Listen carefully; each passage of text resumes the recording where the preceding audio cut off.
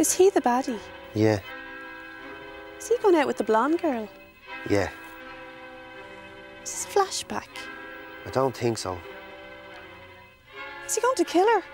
I don't know. I'm not annoying you, am I? No. No. I blame the director. Should have made that a lot clearer.